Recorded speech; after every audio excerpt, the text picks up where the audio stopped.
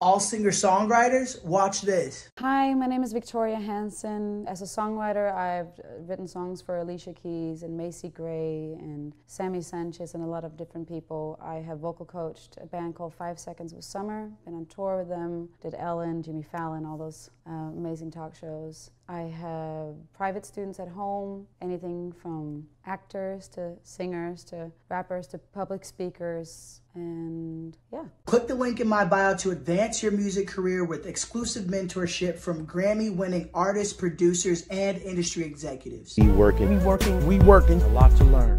we working.